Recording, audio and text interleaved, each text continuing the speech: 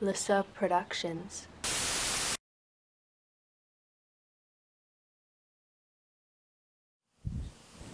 So the last thing we're interested in with these filters is the idea of driving loads with the filters. We'd like to hook something up to the output of a filter and have things function.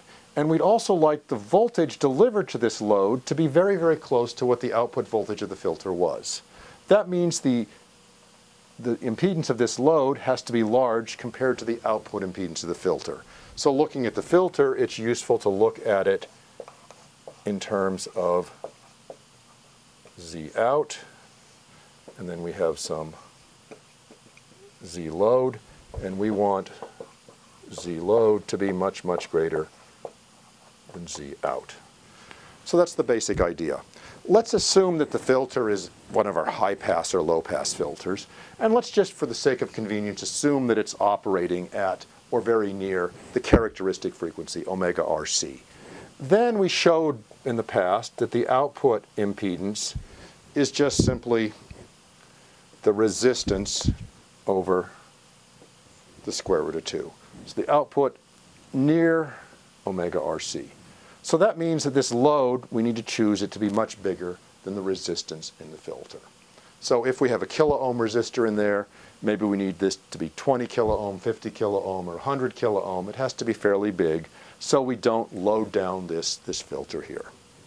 So that's the output side. The other thing we could imagine doing is putting the output of this into some other filter. So this load may be a different filter altogether. So we're driving that. Then we're interested in the input impedance of this. So Z in. And there we can go back and if we're also, if it's an RC high pass or low pass filter near omega RC, Z in is close to square root of 2 times the resistance.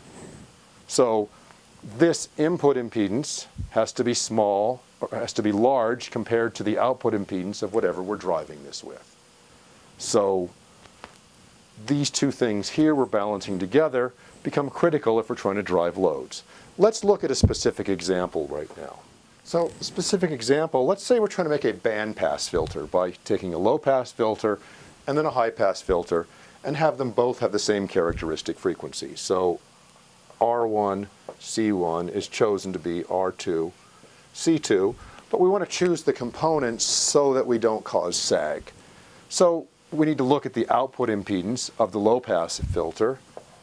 Z out is 1 over the square root of 2 times R1. And the input impedance of the high, high pass filter, Z in, so that's the low pass Here's the high pass. This is going to be square root of 2 times R2.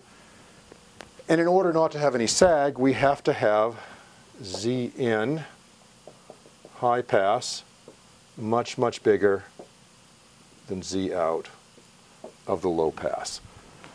So roughly speaking, we've got to choose R2 to be 10, 20, 30, 40 times bigger than R1, which means correspondingly the capacitor is going to be that much smaller in order not to have anything sag. If we then want to drive some load with this, say some other load, we have to choose that even bigger than this R2. So another factor of say 50 or something. So if we have a kilo ohm resistor here, we have a 50 kilo ohm resistor here, we go to another factor of 50, 2.5 mega ohms. That starts to be a little bit of a problem when we're trying to drive things. So, so the basic idea is it's very nice that we could build a filter that lets through approximately the, the characteristic frequency, omega RC, but in order for it to function like the product of two filters, we have to have progressively larger resistances as we go along. If we start with a kilo ohm here, we've got to have 20 kilo ohm or 50 kilo ohm here. Driving something 400 kilo ohm to a couple mega ohm gets progressively bigger. So there's some issues with this. We will learn how to deal with this when we come back with active components and transistors and learn how to insert a stage in here that can impedance transform this so that we can have much more convenient things. Right now we have the idea that we can build a bandpass filter that will pass the characteristic frequency and it will cut off frequencies below that and above that. And the cutoffs will be 20 dB per decade on both sides. So it'll be a, on a Bode plot, something comes up, peaks and comes down.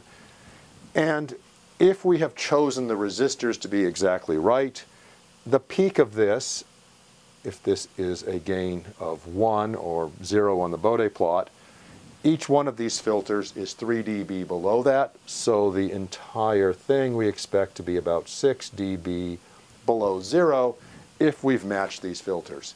If we didn't do a good job of matching these filters, we'll still get this characteristic, we'll pull this down a lot more. It won't be as good at passing signals. So that's the idea of a bandpass filter.